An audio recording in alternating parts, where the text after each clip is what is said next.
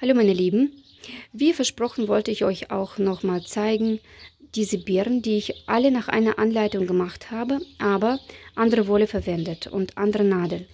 Ja, und zwar wir fangen jetzt mit diesem Braun an. Dafür habe ich eine Yarnart Dolce genommen und Nadel Nummer 5. Ich habe äh, zwei Knäule gebraucht und es, es, hat mir vielleicht zwei Meter nicht ausgereicht. Diese Beer ist ungefähr 40 cm groß.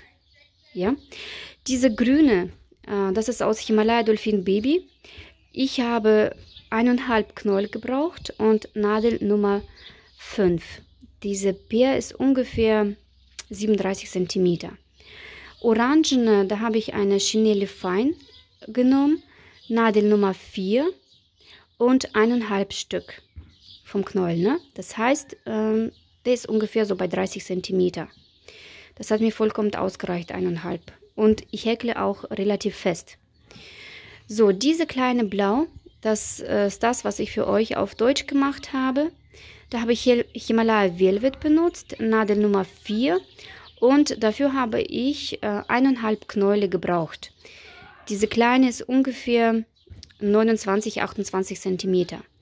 Und ganz kleines Mädchen ist aus Yarnart Velour gehäkelt, Nadel Nummer 4 und da habe ich äh, nur ein Knoll gebraucht.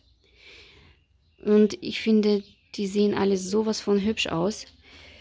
Ja, ich weiß nicht, ähm, ich, ich fand diese Anleitung sowas von einfach und wunderschön. Ich habe mir gedacht, es ist egal, wohin mit den Beeren, aber ich probiere es einfach aus und zeige euch, was daraus wird. Man kann natürlich das aus Him nicht nur Himalaya häkeln, sondern auch aus Baumwolle und Acryl. Die werden dann viel kleiner und die werden dann auch nicht so empfindlicher. Man kann die auch in Waschmaschine waschen und äh, man kann das auch für ein kleines Baby ähm, in die Hand geben, dass er auch im Mund nimmt. Da passiert ja nichts, ne? besonders aus Baumwolle.